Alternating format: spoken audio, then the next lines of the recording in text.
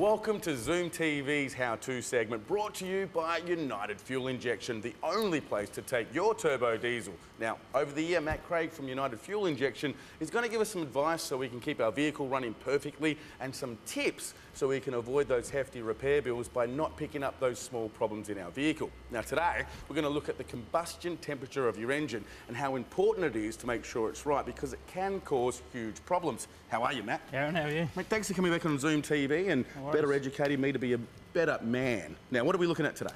Today we're looking at pyro temperature or exhaust gas temperatures, as some people may know it. So, say, Matt, we check our combustion temperature and it's high. What problems could it cause? Well, it can cause detrimental engine failures. Mm-hmm. This is a this is a good piston here. You can see there's no cracks, no harm on it. This piston's obviously been running with high pyro temperatures. Okay. It, it's cracked. You know, down the side there's some visual scoring on the side of the piston. To the point where it burns a hole in the piston. You know, cracks the piston all the way down. Terminal engine failure. When the diesel and oxygen ignite, it, it gives a certain temperature. That's what you know makes power. If that's too high, then this is the end result. We find there's a problem. How easy is the fix?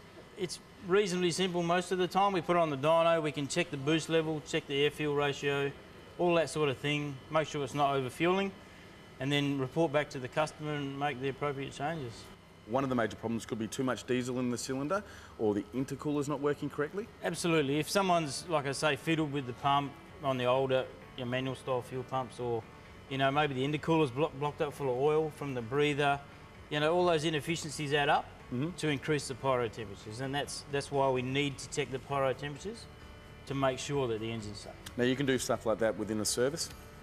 Yes, absolutely. If someone rings and says, I think I've, I've fitted a pyro gauge, I'm not too sure what the temperature is, give us a call. We can tell you what the acceptable range is for that vehicle.